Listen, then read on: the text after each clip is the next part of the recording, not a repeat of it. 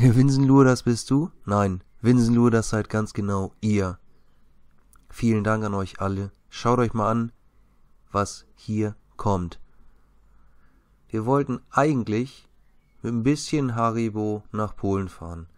Wir wollten eigentlich ein paar Tüten an die Kinder verteilen, die da sind. Hatten uns aber gedacht, fragen wir, ob uns vielleicht irgendwer dabei unterstützen möchte und einmal in der Facebook-Gruppe was gepostet und das ist das Ergebnis. Wahnsinn, das ist sowas von genial. Und ja, die 641 Kilometer, die fährt man dann natürlich richtig gerne.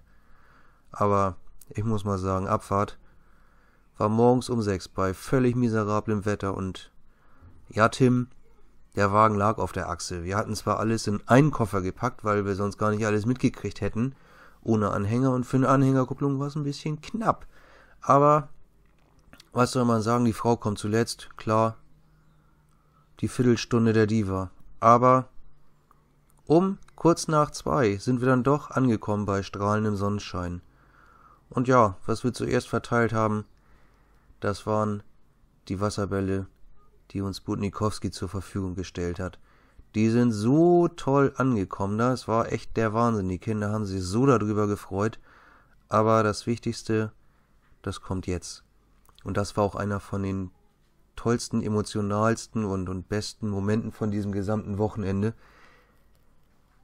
Das waren die Kinder, die sich das Haribo nehmen durften und auch gerne genommen haben. Tja, wie man hier sieht, kommt es sehr gut an.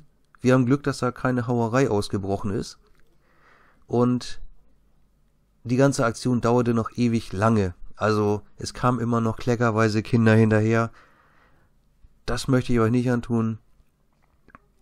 Ich lasse jetzt noch ein bisschen Musik reinlaufen und dann könnt ihr euch die Bilder nochmal zu Gemüte führen. Ich habe mich wahnsinnig gefreut. Ich habe niemals mit so einem Feedback gerechnet. Das war einfach nur grandios.